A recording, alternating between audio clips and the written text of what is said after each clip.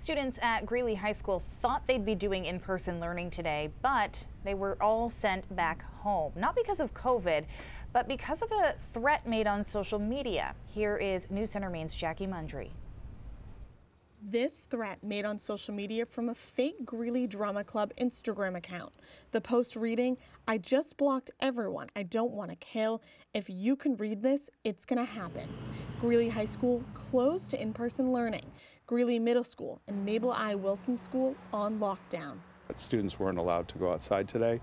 Um, we have been doing a lot of outdoor learning over the last week and so we weren't able to do that today. Superintendent Jeff Porter says the two other schools stayed open because officials believe it was just the high school that was the target. We don't know if it was a student or not, but it did feel like it was very, very much um, identified as a high school issue. Still, parents of the children at the district's other two schools concerned, like Nicholas Began. He says he was working in Connecticut when the Sandy Hook shootings happened.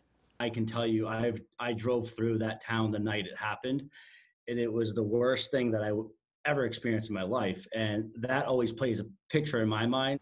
Began says he supports having resource officers in schools and says incidents like this is why districts should have them.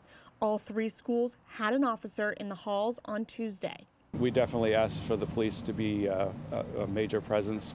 Superintendent Porter says every Wednesday is remote learning day for the district and expects the high school to be back in session like normal on Thursday. In Cumberland, Jackie Mundry, News Center, Maine.